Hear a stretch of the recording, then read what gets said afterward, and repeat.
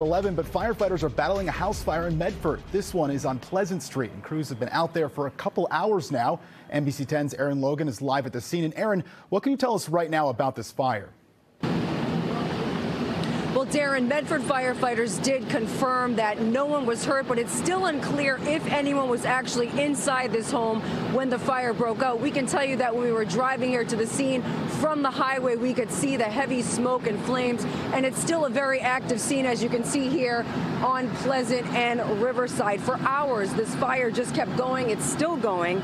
Nearly every window of this home and the roof with smoke and flames pouring out at one point or another. Neighbors from the immediate and surrounding area walking by just stunned by this active scene and of course relieved to hear that no one was hurt. Still a lot of unanswered questions. How many families lived in this home? Who called 911? And was anyone actually home when this fire broke out? People who've been living in this area for years say it has been quite some time that they've seen a fire like this one we pulled up and there was flames coming through the windows, the second floor and the third floor up in um, the front of the house. And we've been here since the Medford Fire's here, Boston Fire's here, and they're, they're doing a great job putting it out. But it's a sad scene today, you know. Everybody lost their house, and I just hate seeing stuff like this.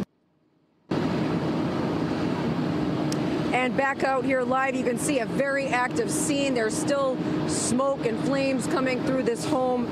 Firefighters hard at work, and it looks like they'll be here on scene for quite a while. There's still no word on how this fire started, and the good news, like in any fire, is that there were no injuries here. That's the latest from Medford. Live in Medford, Aaron Logan, NBC 10 Boston.